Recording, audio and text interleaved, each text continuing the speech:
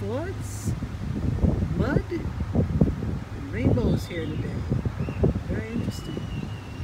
The energy really popped off today. I don't know what's going on, but what's going on?